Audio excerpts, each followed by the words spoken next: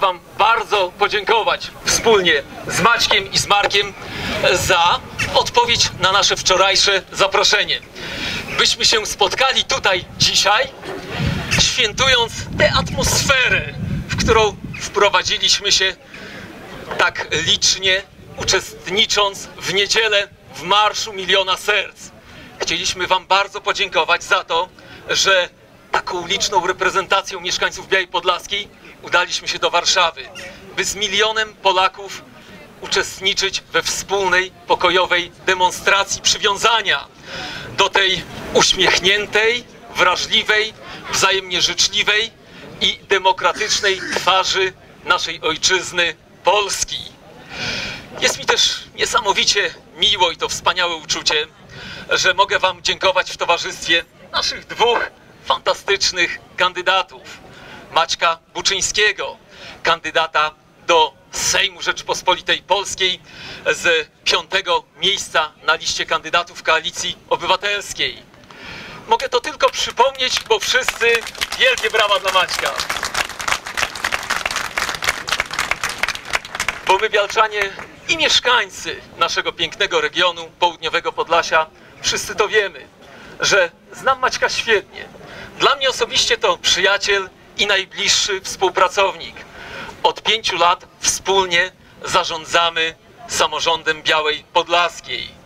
Zwróćmy proszę na to uwagę, że jestem pierwszym prezydentem miasta, który powołał tylko jednego zastępcę. Ale mogliśmy sobie pozwolić na to oszczędne i gospodarskie rozwiązanie, ponieważ miałem szczęście powołać na stanowisko zastępcy fachowca, bardzo doświadczonego samorządowca, którym Maciek z takim zaangażowaniem pracując pozostaje do dzisiaj. Jego dwudziestoparoletnie doświadczenie w miejskim samorządzie, fakt, że już w okresie przedakcesyjnym kierował Wydziałem Rozwoju i Promocji Miasta, e, gdzie latami odpowiadał za to skuteczne pozyskiwanie środków pomocowych z Unii Europejskiej, dzięki którym tak dynamicznie przez ten czas rozwijamy Białopodlaską. Służył też mieszkańcom swojego miasta jako zastępca skarbnika miasta. Wreszcie po wielu różnych zawodowych, bogatych doświadczeniach pomaga prezydentowi miasta prowadzić e, tak dobrze te nasze sprawy. Nie o, nie, nie o sobie dzisiaj chcę mówić, ale mówię to także o Maćku, bo to nasza wspólna praca i wspólne efekty naszego zaangażowania, że tych ostatnich pięć lat, nasza kadencja we władzach samorządu miasta, to jego bezprecedensowy rozwój, to nakłady na inwestycje kilkukrotnie wyższe niż miało to miejsce we wcześniejszych kadencjach władz miasta. Wszyscy na co dzień obserwujemy ten proces dynamicznego zmieniania się oblicza Białej Podlaskiej, ale obserwujemy jako mieszkańcy efekty. Natomiast my, pracownicy samorządu, wiemy przede wszystkim, jakich nakładów pracy, zaangażowania na co dzień to wymaga. I to jest ta ogromna wartość, za którą jestem wdzięczny Maćkowi, mojemu przyjacielowi i zastępcy prezydenta miasta. I to jest ta wartość, za którą tak bardzo cenię Maćka jako kandydata do Sejmu Rzeczypospolitej Polskiej.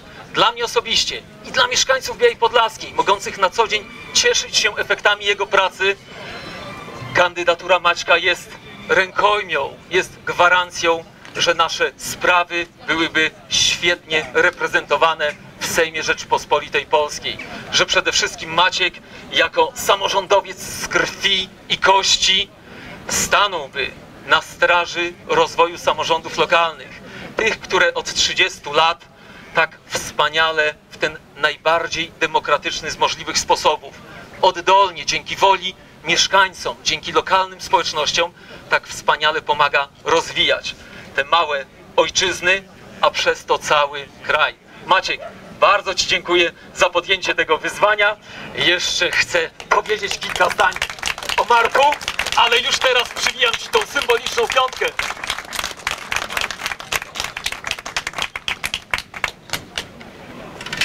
Zobaczcie, w jakim doborowym towarzystwie dzisiaj mam okazję się z Wami spotkać. Obok mnie Marek Sulima, nasz wspólny kandydat do Senatu Rzeczypospolitej Polskiej, kandydat Paktu Senackiego, tej wspaniałej formuły porozumienia środowisk politycznych dzisiejszej opozycji, które pokazały, że zgoda buduje, że w tej kadencji Senatu opozycyjne środowiska polityczne, prezentując wspólną listę, dały nam dowód tego, jak zgoda może zaprocentować.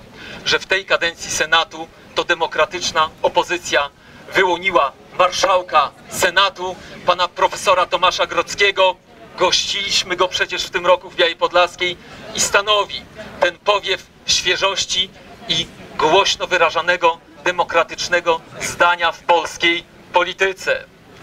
I Marek jest naszym kandydatem dającym tą nadzieję, że mieszkańcy Białej Podlaskiej i innych miast południowego Podlasia, mieszkańcy wsi południowego Podlasia będą mieli swojego reprezentanta w Senacie, człowieka stąd.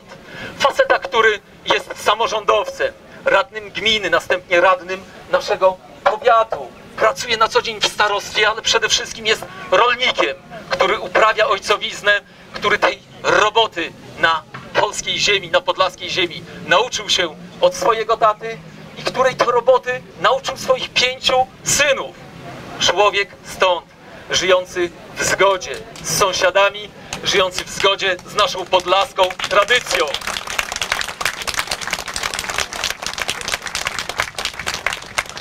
Jeszcze raz wszystkim Wam pięknie dziękuję za to, że jesteście. Bardzo dziękuję naszym kandydatom, że nadają ten indywidualny, bialsko-podlaski sens naszemu zaangażowaniu w proces wyborczy. Nie ma większego komfortu niż móc wziąć udział w wyborach z pełnym przekonaniem, że mamy swoich kandydatów, że mamy na kogo głosować. Brawo! Kochani, przede wszystkim dziękuję Wam wszystkim, że jesteście tutaj dzisiaj z nami, że odpowiedzieliście na zaproszenie Michała i moje. Chciałem serdecznie podziękować wszystkim osobom, które wzięły udział w Marszu Miliona Serc w ostatnią niedzielę. Kilkaset osób z Białej wzięło udział, ale szczególnie też podziękować chciałem tym, którzy z różnych przyczyn nie mogli wziąć udziału. Atmosfera, jaka panowała podczas Marszu Miliona Serc, słuchajcie, tam naprawdę było milion osób. Kto był, to może to potwierdzić. Niesamowita energia, niesamowita e, atmosfera, która daje nam nadzieję, że możemy zmienić naszą Polskę i żeby Polska się uśmiechała, jak to mówili liderzy e, z, ze sceny, która, na której siedziały główne, główne e, scenariusz. E, Dziękuję wszystkim, dlatego też dzisiaj chcieliśmy przenieść tę atmosferę i dać szansę tym, którzy, tak jak powiedziałem, z różnych przyczyn nie mogli wziąć udziału. Michał już powiedział wszystko na mój temat, natomiast e, to, co ja, e, dwa zdania jestem winien. Dlaczego zdecydowałem się wystartować? Bo wierzę w pewne wartości, w pewne wartości uniwersalne, w pewną filozofię życia, filozofię polityki. Wierzę, że Polska może być demokratycznym krajem, dobrze rządzonym, w którym ceni się umiejętności, kompetencje, a nie tylko przynależność do odpowiedniej grupy osób. Cenię też y, pewne wartości uniwersalne, przynależność Polski do Unii Europejskiej, do rodziny krajów demokratycznych.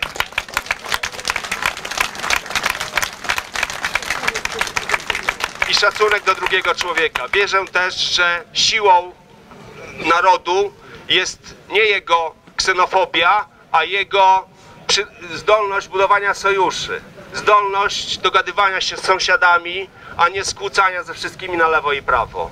Dlatego też taką e, postawę prezentujemy z panem prezydentem tutaj na miejscu w Białej. Chcemy konsolidować wszystkie środowiska. Jako kompetentny samorządowiec, skoro tak się dzisiaj dowiedziałem o sobie, chcę, żeby głos samorządów był lepiej słyszany wyżej, w Sejmie, żeby prawo, które nam rządzący przygotowują, służyło samorządom, a nie pozbawiało ich kolejnych kompetencji, albo przy nakładaniu kompetencji w ślad za tym szły y, odpowiednie środki finansowe. Długo by o tym mówić, bo historia ostatnich lat pokazuje, jak bardzo jesteśmy doświadczani. Ale nie tylko samorządy, też lokalna nasza społeczność. Czyli tutaj jako na, nasz region jesteśmy oparci na rolnictwie, na transporcie, na tych sektorach, które od kilkunastu lat, od kilkudziesięciu lat stanowią siłę naszej małej ojczyzny. E, Też e, ważne są organizacje pozarządowe. Mam ogromne doświadczenie w pracy na rzecz organizacji pozarządowych i również gwarantuję, jeśli dostanę się do Sejmu, to będę e, rzecznikiem również organizacji pozarządowych. Jeszcze raz wszystkim bardzo dziękuję. Otrzymałem Dziękuję za te wszystkie rozmowy, bo cztery autokary z Białej to prawie 200 osób. Podczas y, jazdy i przerw miałem okazję rozmowy, rozmawiać z wieloma y, z Państwem. Dziękuję za wyrazy po, poparcia, za sympatię i jeszcze raz dzięki za to, że jesteście tutaj. Razem zmienimy Polskę.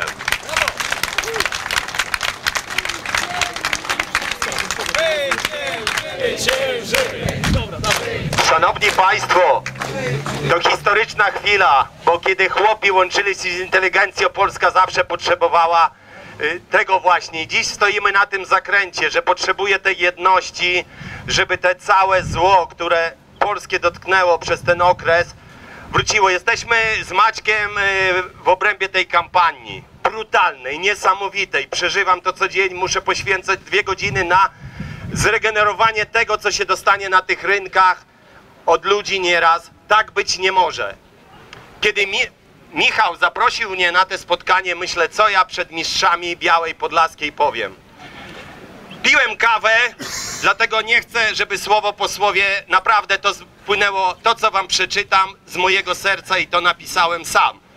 To już jest też atut senatora. Potwierdzi to żona i moje dzieci.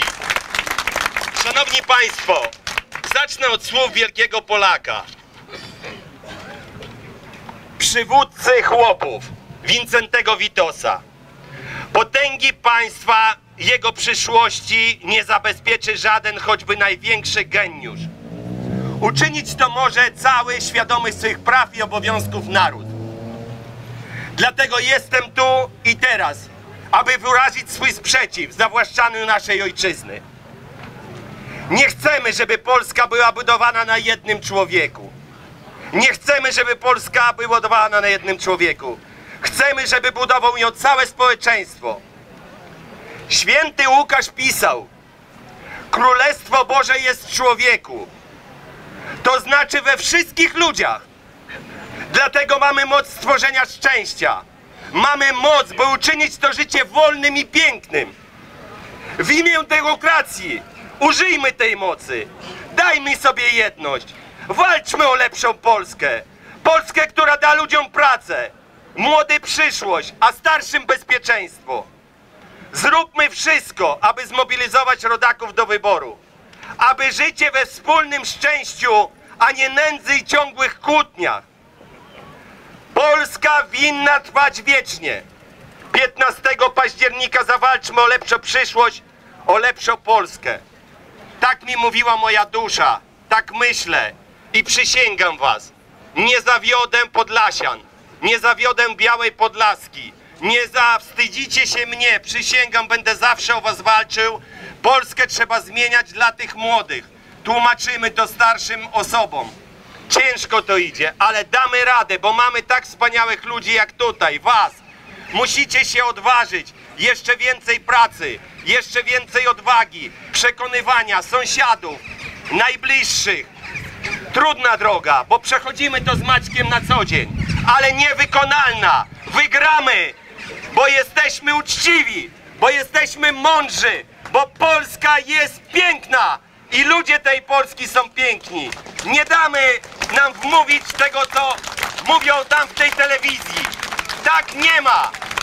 Unia Europejska, świat, który tam czeka na nas, który się otworzył, nie może być dla nas zamknięty. Nie można codziennie nas straszyć.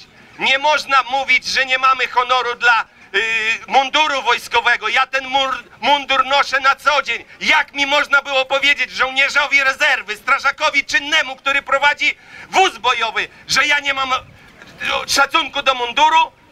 To jest wielka potwarz, po prostu. Ci ludzie za to kiedyś odpowiedzą i to bardzo mocno.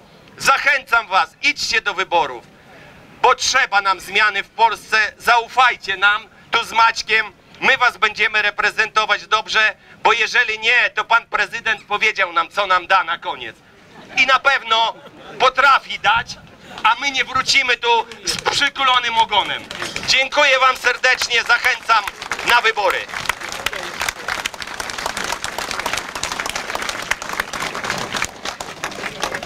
Bardzo dziękuję Maćkowi i Markowi, ale wszyscy wiemy, że w naszym systemie wyborczym o głosy walczy cała lista.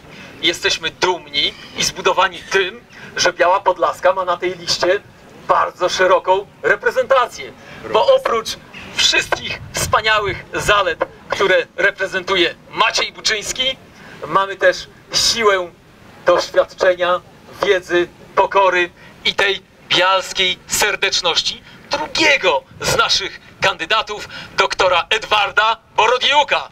Edziu, bardzo Ci dziękujemy. Prosimy Cię o kilka słów. A ja jako senator z szacunku podtrzymam głośnik.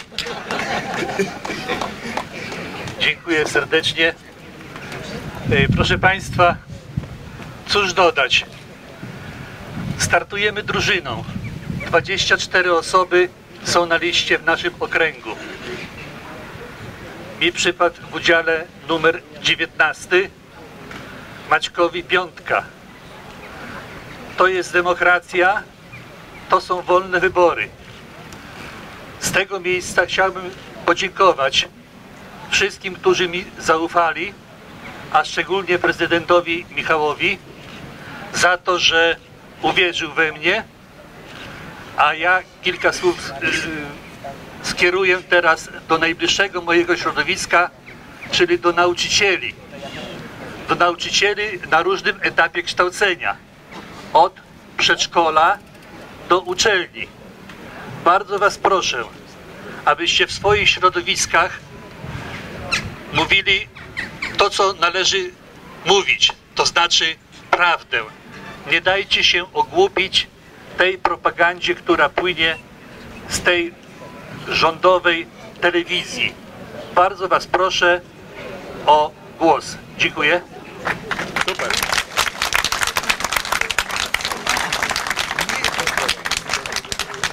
Jeszcze raz pięknie Wam dziękujemy za to, że tak szybko, z dnia na dzień, tak licznie odpowiedzieliście na to zaproszenie do wspólnego spotkania.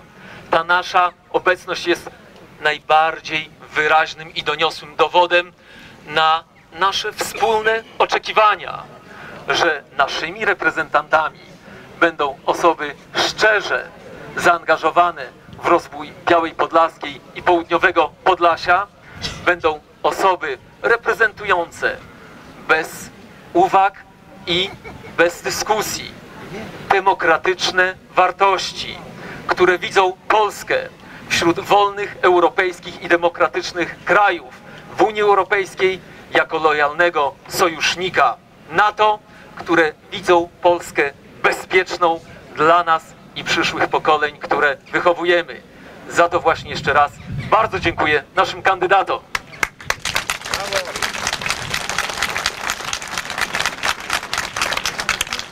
Dziękujemy serdecznie. Tutaj po mojej prawej stronie są jeszcze materiały. Zachęcamy, zachęcamy Państwa do częstowania się, no i ciężkiej pracy nad zwycięstwem. Już naprawdę niewiele dni zostało do zwycięstwa. Ostatnia prosta. Dziękujemy pięknie. Wygramy to!